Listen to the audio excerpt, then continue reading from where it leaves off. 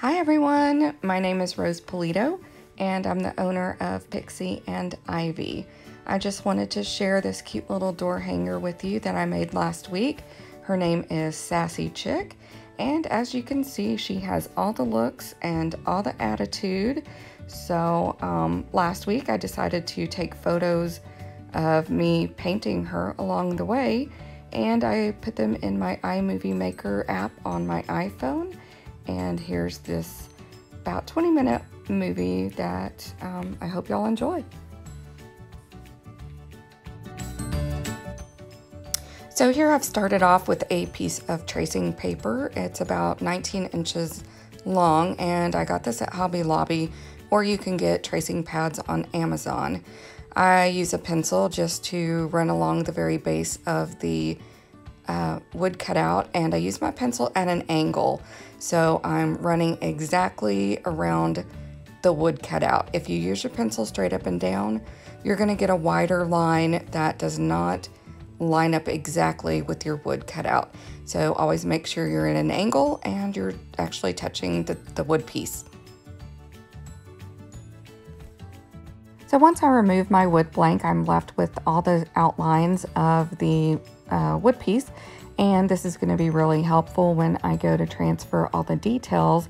Uh, this will line up exactly with the size of your wood blank if you use your pencil at an angle and not straight up and down. So my next step is to go ahead and sketch in all the uh, detail lines and get them just the way I want them. So this is what's going to end up transferring over to your wood piece. So be sure you like what you've sketched out.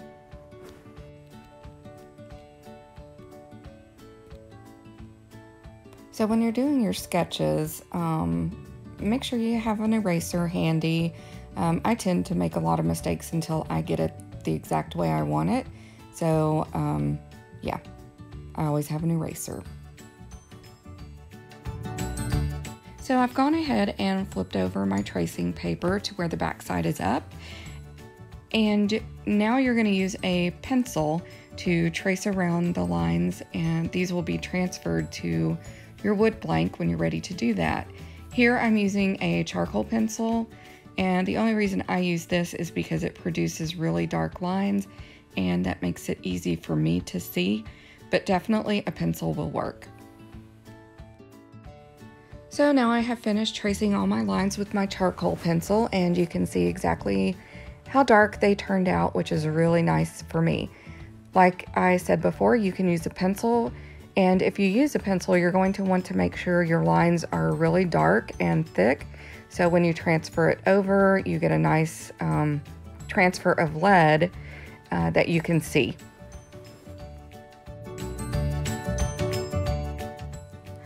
I just wanted to give y'all a little warning about charcoal pencils. They are very messy. As you can see here, I scribbled a little on the side and ran my finger over it and it smudges. So just beware that if you're going to use a charcoal pencil, you're probably going to end up with charcoal all over you. Uh, charcoal pencils can be found at any hobby store or even Amazon. Once I'm finished with the template, I set it aside so I don't get paint all over it. And then I start painting the edges and apparently my hands. And I like to paint the edges white, so when I'm using colored paint on the edges when I do my wraparound, the colors are nice and vibrant. I also like to make sure the back is nice and clean for my customers who have glass doors so they're not looking at terrible messes on the back.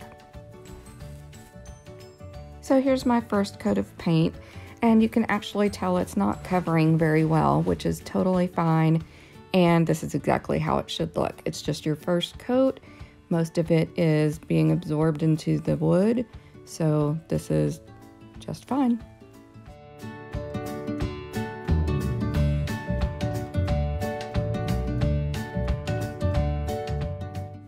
So when I'm finished with my first coat, I'm usually very impatient, so I whip out my blow dryer. When you want to use your blow dryer, you want to make sure that you are moving your blow dryer constantly so the heat is not directed in just one area. you will actually cook your paint if you leave it in one area. So wave it around about 8 to 10 inches above your project and it should dry pretty quickly if you've used a really thin layer of paint.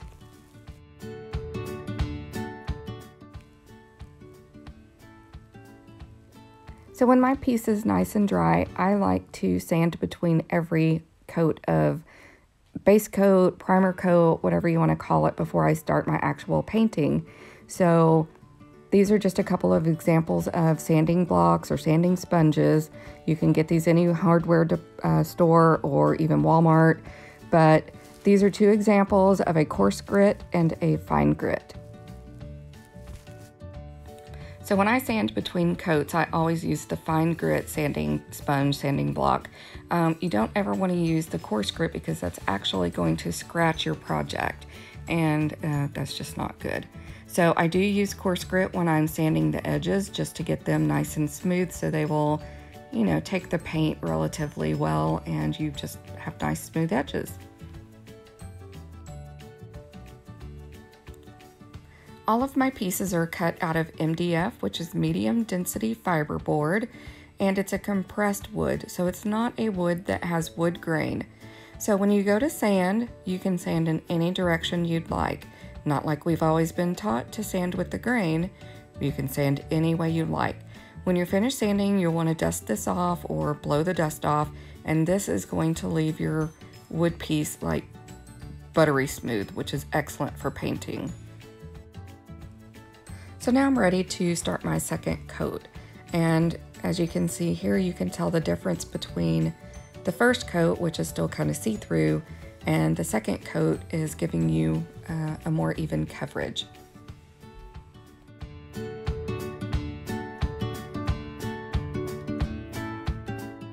So I finished up the second layer. When it was dry, I went ahead and sanded again. Since this piece is mainly white, I added about four coats of white just to make sure I had really good coverage since, like I said, most of it is white and that's pretty much what you're gonna be seeing. So typically I do two coats of white, base coat, primer coat, whatever you wanna call it, and then all the colors on top. So you're not really seeing any of the base coat. So in this picture, I'm just showing you the transparency of the tracing paper. So in no way is this gonna be hard to line up because it is so transparent.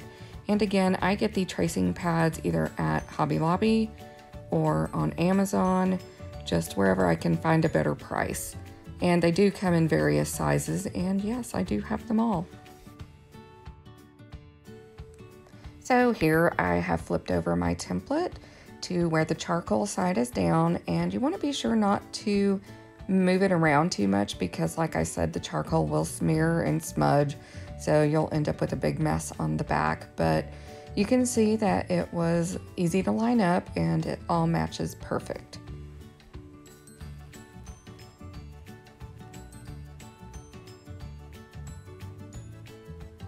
So now that my template is in place, I have one hand holding it down and I'm using a pencil in this situation, but you can also use a pen, a matte pencil, and actually I used my thumbnail just to scratch along all the lines and transfer them to the wood blank.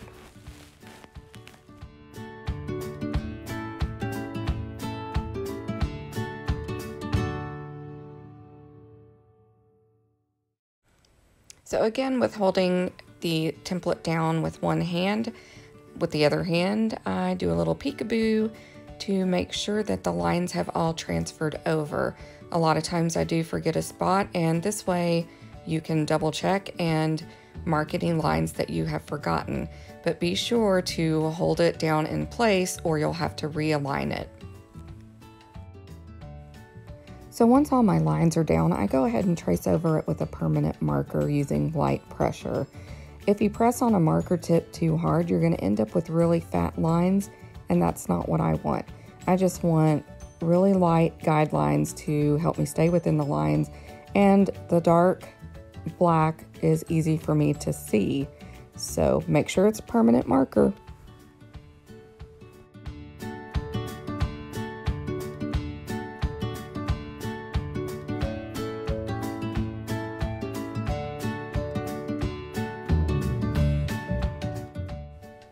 As you can see, I have finished tracing all my charcoal lines and it looks kind of like a coloring book.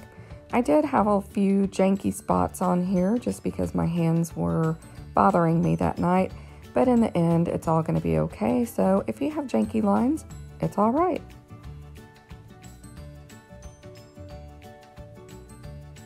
So here's my trusty dusty eraser again.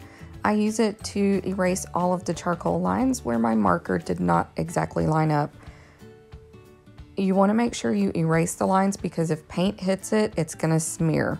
So go over your whole piece, make sure all the charcoal lines or pencil lines even are removed. That way you're not going to have any smears.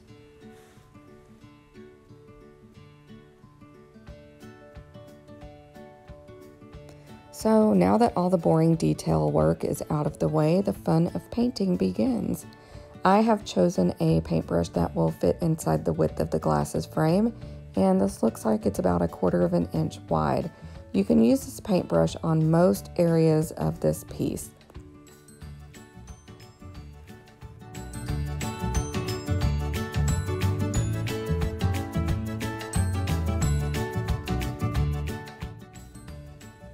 So the quarter inch paintbrush I chose was actually the perfect size for the glasses. Here I'm showing you that I paint my edges. Uh, I call it the wraparound and I think it just adds to your door hanger or whatever piece you're making. It looks nice and clean and professional. So you might think this picture is upside down, but it actually isn't. I have it turned upside down so I can reach the area I'm trying to paint much easier. Uh, that saves a lot of reaching across and making mistakes because I can't see what I'm doing. So you always want to have your workpiece adjusted to how you're comfortable painting. So if you're intimidated by making polka dots with a paintbrush, I have an easy solution for you. Um, these polka dots are really small, so I'm using a very small detailed brush with very little paint on the tip. And I start out by making a letter C.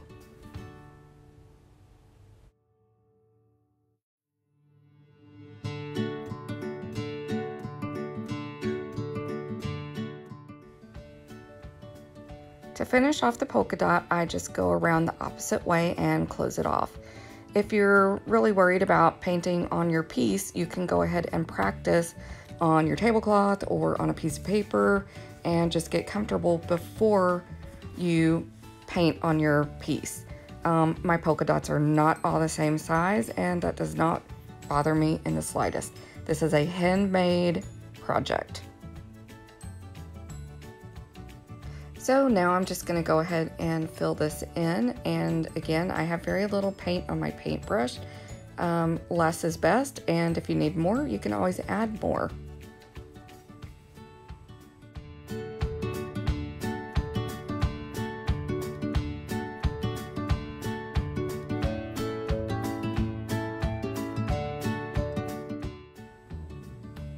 So here's my first coat, and as you can tell, it doesn't look all that great.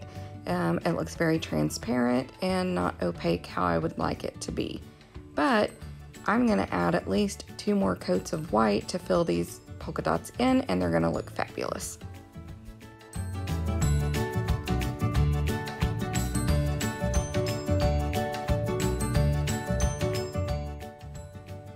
So here they are all filled in three times and they look way better. So I just wanted to let y'all see that it does turn out okay.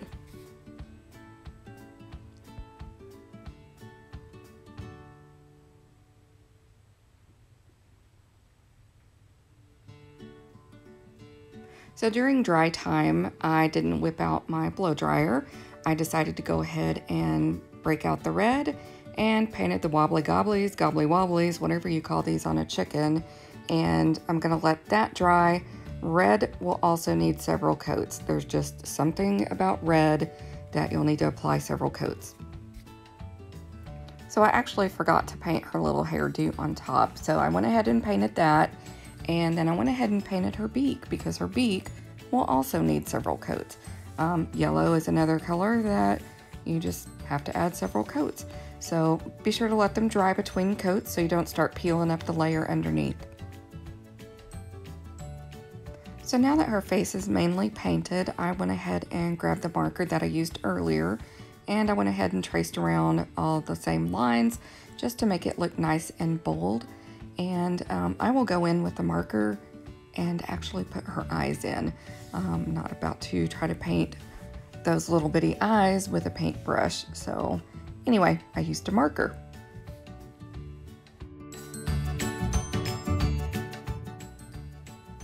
So I put in her eyeballs and with the marker added, it really brings uh, your attention to all the details.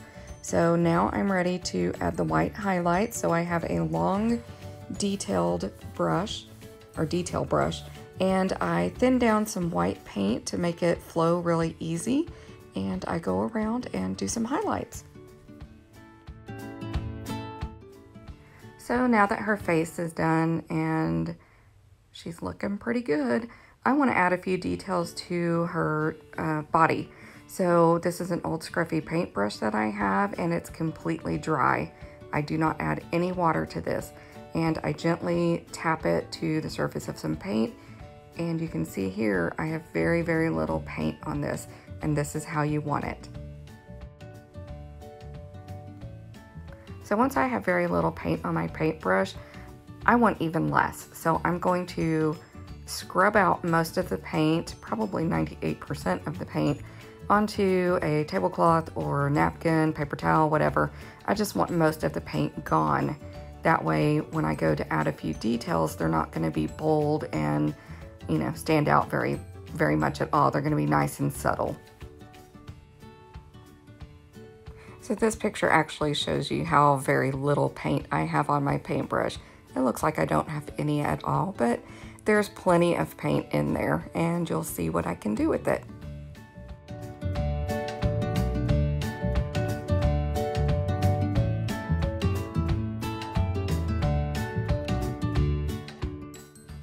As you can see here, I'm making very soft and subtle V marks on her chest to simulate feathers. And like I said, they're very soft, very subtle. They'll stay in the background, but you'll actually still see that the detail is there. And these are gonna be covered up by words eventually, so you don't want them competing with the words. You just want a nice little soft detail in the background.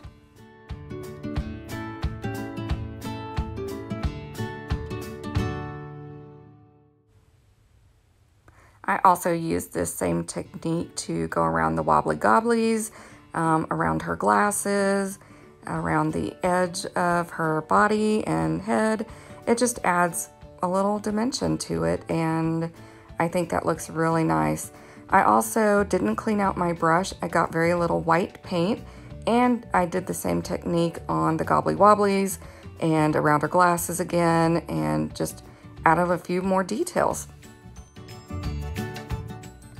So here's Miss Sassy Chick all finished up and full of attitude.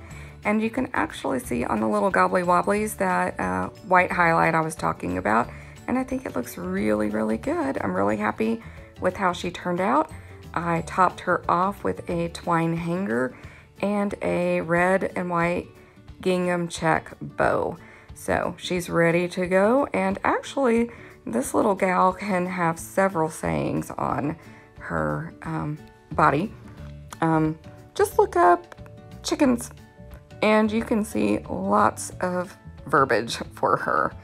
I want to thank y'all for hanging with me through this and if you could do me a favor and please like my Facebook page, follow me on Instagram, uh, share this please with all your friends, put it on your page and just share, share, share, and leave me a comment. Thank you. And with zero shame at all, I'm going to put in a plug for my daughter. She is a special education teacher in Houston, and this is her fifth year. She teaches grades first through fifth, and she has her hands full but loves her kids so, so much.